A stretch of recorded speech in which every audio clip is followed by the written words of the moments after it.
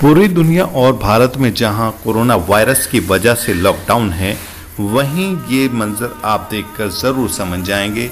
ये ये जो भीड़, एक लंबी लाइन देख रहे हैं आप, ये कोई और नहीं बल्कि शराब की दुकान पर लगी हुई ही लंबी लाइनें हैं, जो कि प्रशासन के द्वारा दी गई छूट के बाद ही लगी हैं।